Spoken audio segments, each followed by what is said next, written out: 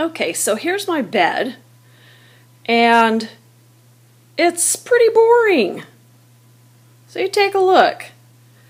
It's been this way for eight years since we've moved into this house, and I have nothing on the wall above it.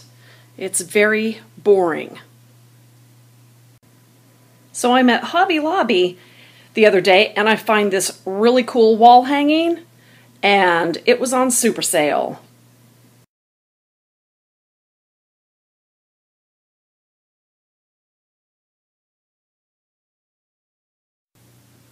You see that price? Uh-huh, made in China. Okay. It was originally $149.99. Let's call it $150. $150 on sale for 30 bucks. Wow. Can you tell me what my percentage discount I got on that? We call it a sale price or discount price. What was my discount?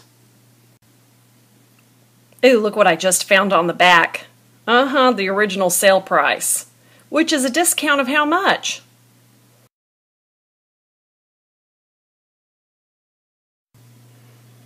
So anyway, here's the deal. What I want to do is I want to take that wall hanging and I want to center it above my bed evenly between both sides of the bed. I want it centered. What am I going to do? What's the first step?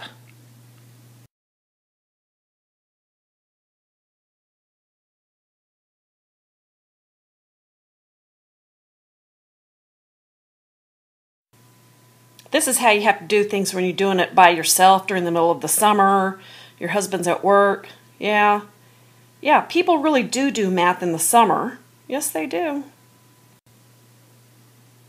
Yep, I was thinking the same thing. I need to measure the length of the bed, or the width. So, I got my tape measure out, and to me, I'm going to call it 74 and a half. 74 and a half inches, okay?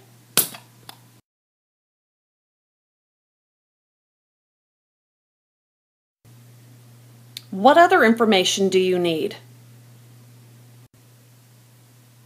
Okay, what do we need to do now? You got a plan? You got to have a plan, man.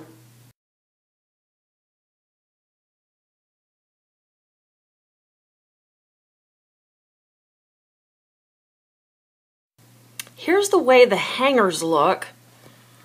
This thing is pretty much right up there at the top edge of the uh, frame. Let me see the other side. Yeah, it's just maybe, I don't know, a sixteenth of an inch down. Yeah, it's real close to the top. I guess the next thing we need to know is what?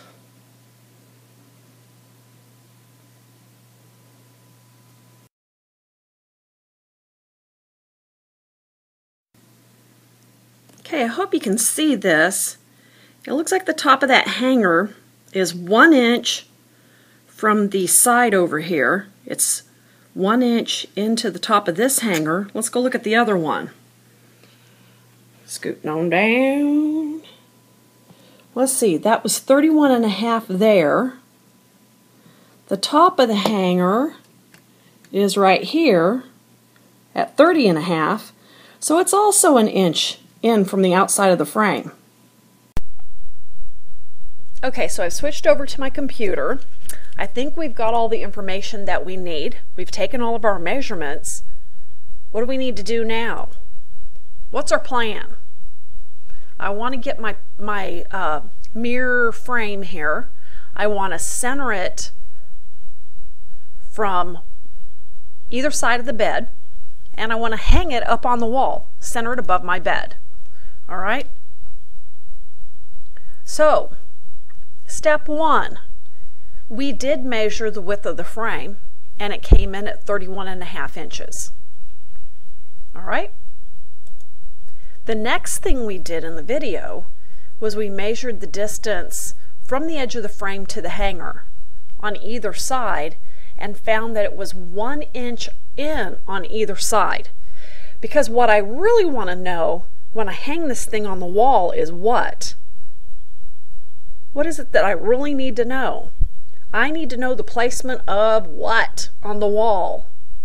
Yeah, I need to know where to tell my husband to put those drywall hangers in. This this wall hanging is heavy. And normally I just pound a couple nails in the wall. I need drywall hangers. So uh, my plan is to have the holes ready to go so my husband could come home, put those drywall hangers in, and I'm good to go. So what is our next step? Yeah, I need to know the distance between the two hangers. I need to know the placement of the holes. So I do need to know that distance. So I'm going to take 31 and a half and subtract how much? Yeah, there was an inch on this side and there was an inch on this side. So the distance between the two hangers is going to be what? What's the distance from here to here? What's 31 and a half, subtract 1, subtract another one? or 31 and a half subtract 2. Yeah, we get 29 and a half. That's the distance between the two hangers. Okay? Now what? Here's what I know. It's 74 and a half inches from one side of the bed to the other. And from one hanger to the other, that's 29 and a half inches. What's our next step? Where do we go with this? Yeah, it'd be really nice to know the distance from the edge of the bed over to where the hanger should be, the distance from the edge of the bed to where the hanger would be.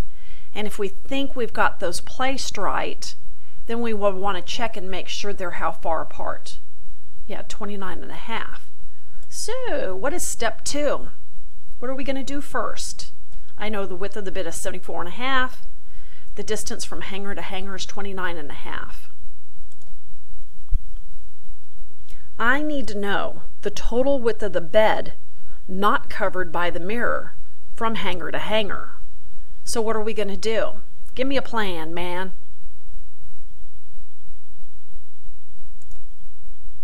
Yeah, let's take the width of the bed and subtract the distance from hanger to hanger. And what we've got left is the total distance from here to here plus here to here not covered by the mirror. So you guys go ahead and do that. Isn't a half subtract a half? Those two halves cancel each other out. So 74 subtract 29 gives you what? Did you get 45 inches? Okay. 45 inches of the 74 and a half will not be covered by mirror. So, what do we do next? What's our next step? If this distance over here plus this distance over here is 45, don't I need to cut that in half to find the width of each section? Yeah, I want to know the width of each section not covered by mirror.